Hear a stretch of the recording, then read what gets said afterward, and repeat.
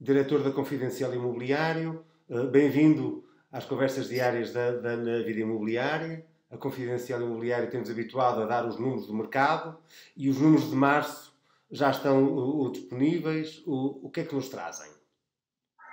Muito obrigado pelo convite. É um gosto de estar aqui com a Vida Imobiliária uh, e ter a oportunidade de partilhar essa informação. Agradeço. Um, então, de forma rápida, nós temos feito aqui um esforço grande para ter os números uh, mais em cima possível do fecho de cada mês e publicar informação uh, com um delay pequeno em relação ao fecho desse mês. E eu, se partilhar aqui o meu ecrã, se for possível, eu vou tentar rapidamente uh, fazê-lo. Pronto, dizer que nós fechamos o índice de preços que acompanha a valorização do mercado relativamente ao mês de, de março é um índice que tem por base a informação de transações eh, recolhidas no TIR e aquilo que este gráfico nos mostra eh, são duas informações importantes, parece-me. Uma que é, por um lado, que existiu uma desaceleração no ritmo de crescimento de preços, no ritmo de valorização do mercado, isto são as variações mensais ao nível de Portugal continental, mas, portanto, apesar de haver uma desaceleração, o resultado de março é um resultado positivo, com uma variação de 0,4% no índice de preços. Uh, eu acho que esse é, é um enquadramento uh, importante para o mercado, porque o mercado, de alguma maneira, pode uh, estar na expectativa de uma quebra de preços e, portanto, de um ajuste no, nos valores dos ativos, e sem a troca possa vir a acontecer em especial quando decorram transações em que do lado do vendedor possa haver alguma pressão, eh, algum motivo de, pressão para, a venda, portanto, e que motivo uma maior necessidade de liquidez, eh, mas a verdade é que eh, no imediato o mercado não teve ainda esse comportamento e teve um comportamento positivo, não fortemente positivo, mas os números de março são números ainda positivos em termos de crescimento de preços.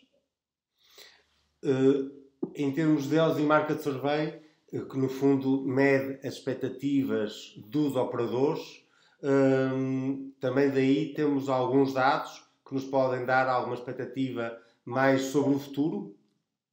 É, eh, nós tentamos neste inquérito, neste Housing Market Survey que fizemos sobre o mês de março, ehm, tentar fazer as perguntas do costume que o survey faz e que, enfim, acompanham uh, o sentimento sobre a atividade mais recente e a atividade no futuro próximo. E em relação a, aos números para o futuro próximo, o Osimaca Survey dá-nos claramente uma perspectiva, enfim, acho que pessimista, pode-se dizer, portanto, há uma expectativa de, de, de que o mercado traduza a, a, a, situação em que estamos todos, enfim, com algum uh, confinamento, e, portanto, uma forte redução do número de vendas, e, e portanto, os, os negócios a, a fazerem-se também condicionados por isso. Nós, eu, permites, vou também voltar a, a partilhar o, a, o ecrã, uh, mas nós tentamos ir um pouco além daquilo que é uh, meramente uh, a questão relativa ao futuro imediato e tentamos perceber também qual é que é a expectativa que os operadores tinham relativamente àquilo que pode ser um ciclo de recuperação do mercado. Eu acho que aqui vale a pena no mercado olhar não para o, unicamente para o curto prazo, o imobiliário não é muito amigo do, do curto prazo, vale a pena olhar para o, o, o, ciclo longo. E, em função dos racionais que o mercado possa ter, perceber qual é que é uma perspectiva de recuperação após aquilo que seja, enfim, que se possa entender como o início do fim da crise Covid. A crise Covid não vai ter um fim, portanto, enfim, um armistício que declare o fim, entre aspas, desta guerra. Portanto, há de ser um fim progressivo, mas, alguma maneira, quando se houver um regresso à normalidade, quanto tempo é que o mercado pode demorar a reagir? E, portanto, o mercado, o consenso dos operadores é no sentido de haver um delay de 12 meses, até que em termos de número de vendas e depois em eh, de 14 meses em termos de nível de preços, para o mercado, para o mercado poder, poder recuperar. Uh, quando nós olhamos para um sentimento, enfim, de curto prazo, nós vemos aqui estes gráficos que de repente, enfim, vinham aqui numa desaceleração e há aqui claramente uma reação abrupta em termos de sentimento. Mas, de facto, um, eu acho que perguntarmos nesta altura quais são as perspectivas para amanhã, toda a gente, como é evidente, vai ter um consenso grande de que o dia da manhã não vai ser já um dia fácil, é preciso encontrar, enfim, novas formas do mercado se desenrolar, mas fundamental é perceber realmente quanto tempo o mercado pode demorar a regressar a uma qualquer normalidade. Também acho que não vamos esperar que o mercado regresse ao ponto de partida como se nada tivesse acontecido, há de haver nuances que vão introduzir, enfim, novos equilíbrios, mas aquilo que é expectativa dos operadores, e eu acho que isso é um dado importante, é que, enfim, em termos redondos, um ano após o fim da crise, o mercado estará nos patamares uh, onde estava antes, antes da crise. Ricardo, das pessoas com quem temos estado a falar, uh, há também um bocadinho agora o desafio à avaliação imobiliária, mesmo, portanto, à gestão de, de, de risco das entidades bancárias, de perceber uh, como se determina o valor dos ativos imobiliários. Este vai ser um período relativamente complexo, uh, talvez por dois fatores mais evidentes. Um que é uh, a redução do número de transações vai trazer menos liquidez ao, ao mercado e depois, de facto, qual é que é a perspectiva de recuperação, até que ponto se confirmam as perspectivas que os operadores têm e, e portanto, até que ponto as avaliações podem ou não basear-se nesse tipo de cenários. Nós uh, acompanhamos um indicador que é o, price gap, o gap do mercado. Eu aqui se calhar partilhava outra vez o, o meu ecrã de forma rápida uh, para, para, para comentar. O, o, confronto é a diferença percentual entre o preço médio das vendas realizadas e o valor médio da oferta. Portanto, ao fim e ao cabo, é a distância entre o closing e o asking price um, aqui a nível geral. E, e, e é, é começar por ter a noção de que, mesmo no pré-Covid e no momento fantástico do mercado, ou até talvez por isso, este gap estava na casa dos 18% a nível geral. Isto quer dizer basicamente que as expectativas dos, dos proprietários estavam sempre à frente daquilo que depois a procura efetiva acabava por vir ou não a, a confirmar. E, portanto, havia uma diferença muito acentuada entre a média do que de facto se vendia e a média do que estava uh, em venda, aqui acentuando que estou, faço foco no mercado de usados.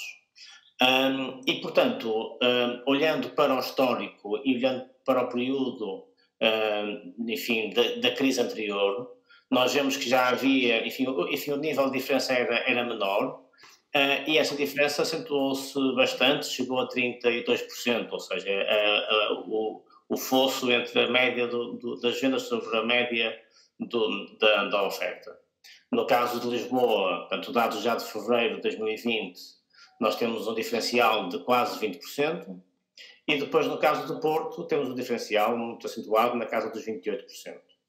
Um, e, portanto, isso significa que o, o, o, recurso à informação de asking price para fazer uh, avaliações é, obviamente, uma, enfim, é tentador, em especial no, no contexto de, de relativa redução e escassez de transações e de comparáveis de transações, para a dificuldade que é conhecida, portanto, de ter acesso a esta informação e que nós no CIR, eh, portanto, dispomos. E, e, e, para além da questão de ser mais acessível o valor do asking price, eh, isso pode ser uma armadilha que se vir portanto, contra aquilo que é, na prática, depois no final, uh, um, um, um, resultado dessa mesma avaliação. Portanto, eu acho que, de facto, hoje em dia, conseguir ter uma, um, um resultado uh, que seja completamente fiável, seguro, do ponto de vista da, da avaliação, obviamente que será uh, um, dos desafios que se coloca para, para o imediato. Um, agora, por um lado, estas, estas ações podem refletir também portanto, equilíbrios, uh, que, como já disse, resultam da situação do, do comprador e do vendedor, mas, mas, isso não quer dizer que também não haja, em, especial nos, nos principais mercados, um número suficiente para se produzir um consenso daquilo que o mercado espera que seja o novo patamar de valores.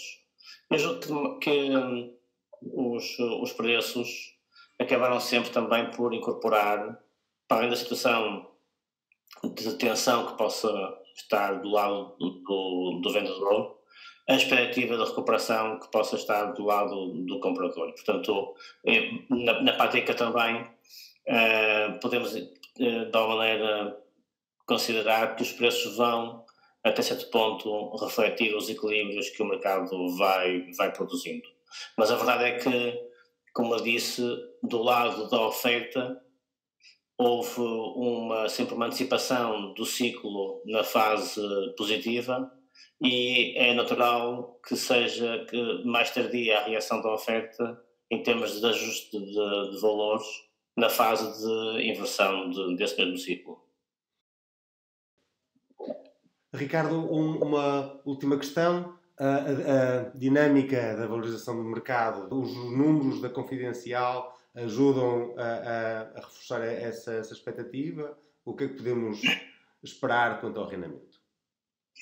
Nós fizemos um, um estudo sobre, sobre esse tema, publicamos na revista de fevereiro, em que fazíamos o confronto e víamos que, de facto, eh, muitas vezes o rendimento era mais apelativo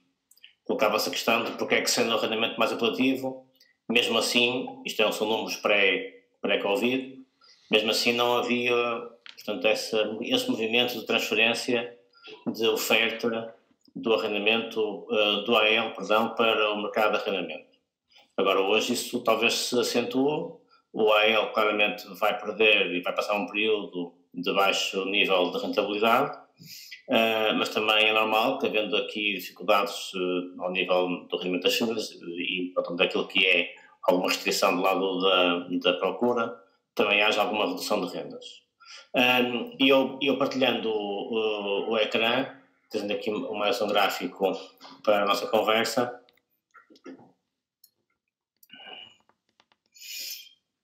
com as rendas a nível nacional, que depois também tem espelho a nível de Lisboa e do, e do Porto, e, e, que basicamente esta subida de rendas eh, de, resulta de alguma maneira da concorrência que existe de diferentes usos uh, entre o, o, residencial e o não residencial, mesmo portanto, na habitação, o AL, e portanto o facto de haver formas de ocupação que geram uh, mais rendimento e que portanto suportam um maior nível de rendas. Uh, mas também aqui chamava a atenção, e acho que é interessante voltarmos àquilo que é a realidade e, e, e os ensinamentos uh, da crise anterior, aqui com base no, no, no Portuguese Housing Market Survey, uh, e temos aqui estes dois gráficos em paralelo, em que vemos claramente que, que nos anos 2011, 12, o mercado de arrendamento foi ganhador da oferta e de procura, um, portanto, na fase de falta de liquidez no mercado de compra e venda. Digamos, todas as más notícias do mercado de compra e venda se transformaram, entre aspas, em boas notícias para o mercado de arrendamento. Mas também é verdade que mal o mercado, o sentimento no mercado de compra e venda começou a ser de estabilização, a oferta, que é esta linha verde, começou a sair do mercado de arrendamento. Portanto, esqueça que, à luz da história da crise anterior, é normal que haja um processo de transferência de imóveis do AL para, para o, o arrendamento, mas também talvez seja normal esperar que esse ciclo uh, possa reverter-se quando começar a haver sinais mais positivos no mercado de, neste caso não de compra e venda, mas no mercado de, de AL. Portanto, na, na prática, pode haver aqui uma transferência de forma de ocupação, talvez por prazos relativamente curtos, tirando partido daquilo que é uma alternativa, no sentido de comprar tempo e avaliar o que é que depois o futuro pode trazer, se de facto regressa à normalidade ou outros cenários que hoje possam não ser antecipados. Certo, perfeito. Uh, mais alguma nota que gostasses de deixar dos, dos, dos, números da confidencial imobiliária e dos que nos têm dito para percebermos melhor o momento em que vivemos? Eu, eu gostava de partilhar só uma ideia que é aquela que mais me preocupa e que é a seguinte: os números que nós estamos a apurar do final de 2019 já davam sinais de abrandamento e até de alguma descida do nível de investimento nos centros das cidades de Lisboa e Porto. E isso resulta também do processo natural, como é evidente, do ciclo de mercado e, portanto, de, do nível de preços, que acabava também por ser, alguma maneira, mais desafiador para quem entrava. Uh, mas também julgo que resultam portanto, de alguma incerteza que o mercado, entretanto, foi sendo alvo, ao nível de alguma instabilidade de, de, de, políticas, e eu julgo que isso é um aspecto fundamental, que é, eu acho que existe uma perspectiva muito credível de um mercado poder regressar a um, a um patamar pré-Covid, não, não será igual, será outra coisa qualquer, mas um mercado saudável a funcionar, que tem que olhar para as medidas que uh, o viabilizaram no ciclo anterior e, portanto, tentar, tentar perceber se, se, essas medidas funcionaram nesse ciclo, até que ponto estão ou não também úteis e necessárias para um relançamento. Uh, e eu acho que isso é essa é uma reflexão importante, uh, porque não é só porque o sol e o dia vêm a seguir à noite que a seguir a uma fase boa vem uma fase má e cada fase má vem uma fase boa. Portanto, é mesmo preciso criar políticas e criar um regime do o ambiente de confiança para, para que o, o, o, o potencial desse dia se concretize. Perfeito, Ricardo. Muito obrigado.